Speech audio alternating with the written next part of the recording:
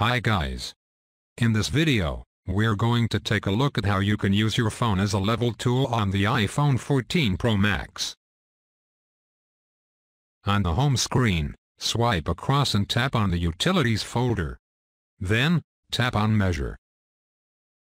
Now in here, at the bottom, tap on Level. Once you come on level, you can place your phone on a flat surface to start measuring. This way you can also measure it flat on a flat surface like that so you can see if I move it shows at the angle that my phone is moving. Thank you for watching this video, please subscribe to my channel for more videos.